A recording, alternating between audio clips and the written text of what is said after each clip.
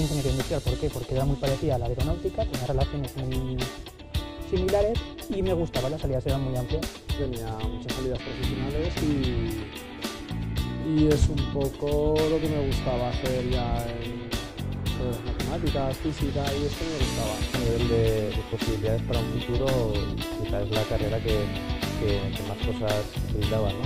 En el sentido de que tiene muchas salidas y, y puedes dedicarte a, a- a lo que quieras. Además, a mí me gustan mucho los vehículos, los barcos, los aviones, quería hacer la rama de de máquinas y vehículos. Abarca un montón de, pues desde ingenierías hasta pues también trabajar en banca, puedes ser gerente de empresas que en tu vida podrías haber pensado que ibas a trabajar.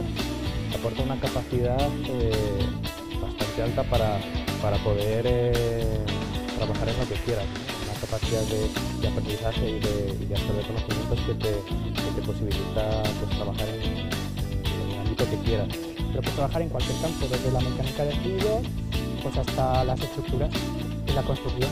Ahora se está un poco en la construcción también lo puede hacer. Hay mucha que está estudiando.